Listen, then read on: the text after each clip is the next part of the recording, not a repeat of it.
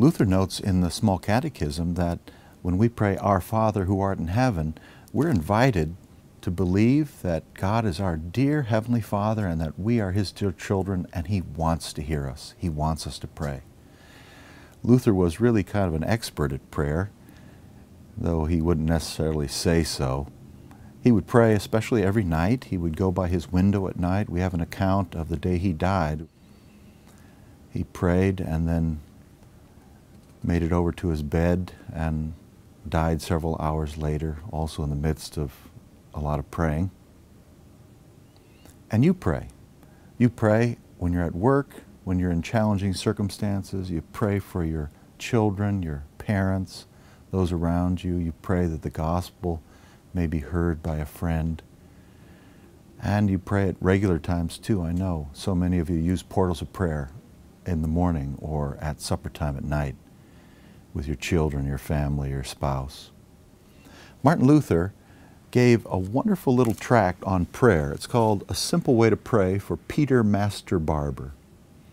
And Luther sat down one day in the barber's chair in his town of Wittenberg, and as Peter was cutting his hair, he asked him, Martin Luther, how do you pray? I'm having trouble praying. And Luther responded by writing Peter a little tract on prayer. And now CPH has put this out. It's only a couple of dollars. And Luther does something really amazing in this little tract. You know, there's often a debate between whether you're going to pray a rote prayer, a written prayer, or you're going to pray ex corde or something just off the top of your mind. Luther's genius is to combine them both together, but to anchor them in the Word of God. So what Luther does is he has a pattern. He starts with a biblical text or a prayer. You can do this with any prayers or a hymn. But he starts especially with a text of the Bible or the Creed. And he puts it into four segments. I call it ITCP.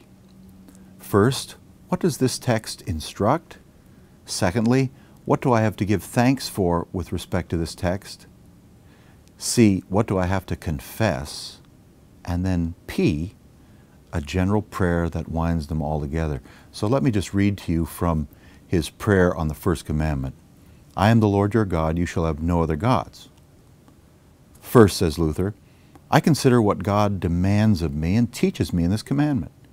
He wants me to give him my genuine attention in all things. He greatly desires to be my God and for me to regard him as such on pain of losing eternal life. He does not want me to rest my heart on anything else, but trust only in Him, not on possessions, honor, wisdom, power, holiness, or on any other creature. Second, I thank Him for His infinite mercy, that He Himself descended here below without me asking Him or seeking Him or meriting Him, and like a father offered to be my God to take on what is mine. He will be my consolation, protection, help, and strength, even though indeed otherwise we poor blind men have sought after so many different gods. And we would have continued to seek them if it were not for the fact that He so openly allowed us to hear Him, and in our human language announced that He would be our God. Who can ever thank Him enough for this? Third, I confess and admit my great sin and thanklessness that I have throughout most of my life, so terribly despised such a high gift and beautiful teaching with innumerable idolatries. I have so horribly provoked his wrath. I'm sorry for this and plead for grace.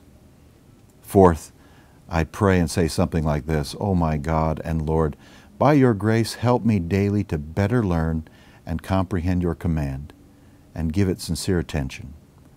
Guard my heart so that I no longer forget and become unthankful, so that I do not seek consolation in any gods on earth, nor in any creature, but rather truly cling to you alone and purely as my only God, my dear Lord and Father in heaven.